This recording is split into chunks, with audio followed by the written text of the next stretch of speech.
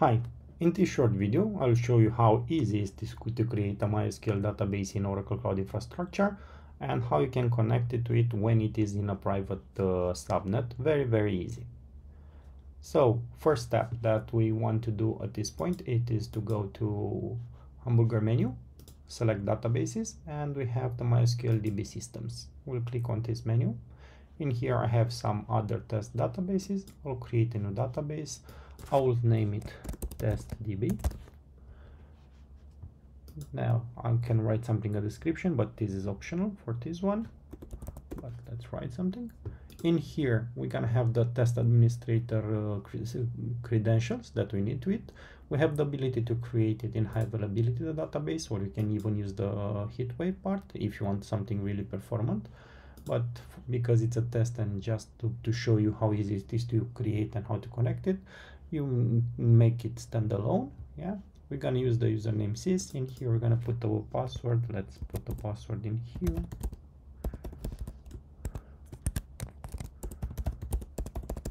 Okay so now we have the password in there. Next step it is to specify on which network will be installed.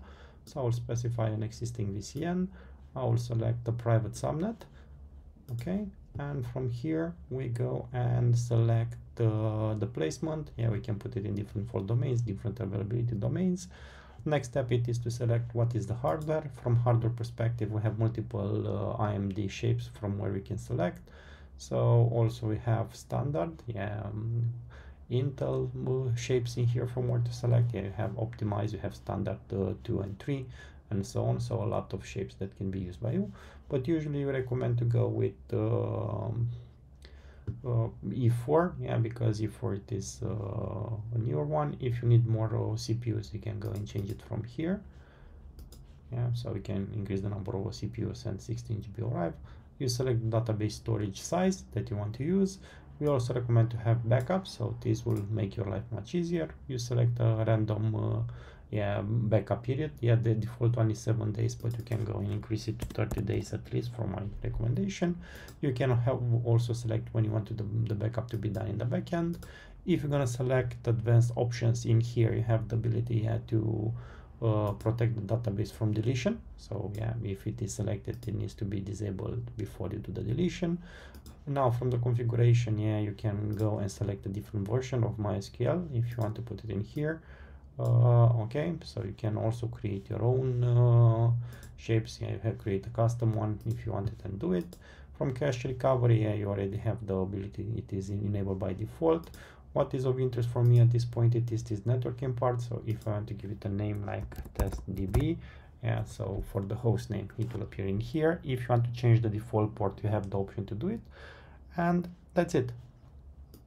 Press create and the database will be created in the backend. Because I already have a testdb yeah, created, I'm gonna receive an error.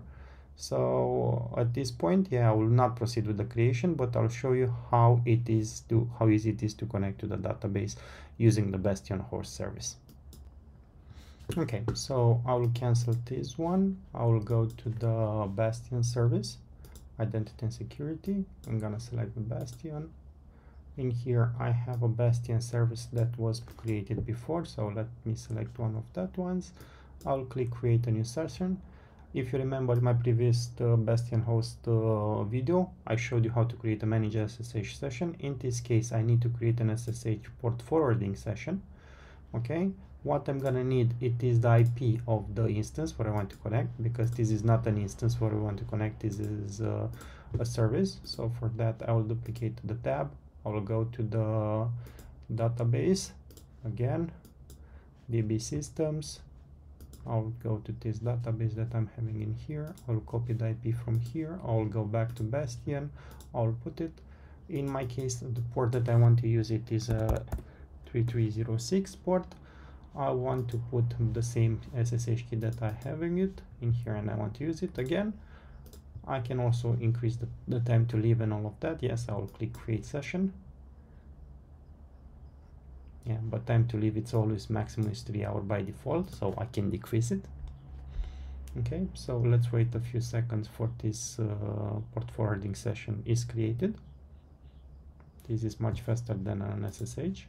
in here if i'm to click again view ssh commands yeah i'll have the ability to see this view ssh command now as you can see here the command is different from the last time so i'll copy it from here. I want to remove that part again. And what is important in here is to put a local port.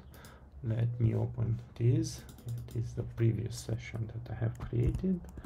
Let me delete it. I will use the new one. I'll go at the beginning. I will delete the minus i. Yeah that is pointing to my private key and instead of the local port yeah that is put it here i can go and use the same 3306 because it is not in use on my computer or it should not be in use. Okay and now i need to go to uh, terminal. Okay let me clear this. I will paste it. Okay and i press enter. So at this point as you can see uh, yeah the tunnel was created in the backend. So how i can do testing here? Let's say i can try telnet. Okay so as you can see yeah port 3306 is pointing me to mysql database. I'll even show me the, the, the version of it not the database itself but I know that is a database in there. So next step is to use a client yeah to connect to your MySQL database. If you're gonna have MySQL Workbench you can go and use that one if not you can use let's say dbeaver this is one of the ones that I'm using uh, because I have the ability to use multiple uh, yeah databases as connect connection targets. So in here it's pretty simple what I have to do. I'll click connect. From here I can select to what I want to connect. I'll select MySQL in this case. In here database is localhost. Yeah I know that I have a sys user I will put the password in there. Okay and I can click test connection. Okay so as you can see it connected directly to that uh, database and the connection is working. One important thing yeah. Uh, it might need uh, SSL yeah. So if it gives you an error or something like that you can use SSL enable SSL from here and you can specify deselect the verify server certificate so not receive additional errors. Okay so now I have the MySQL database up and running. Yeah, I'm connected to it. And from there I can see the database. So congratulations you can go and create new databases if needed and run your environment into it. Thank you and I hope you enjoyed this video.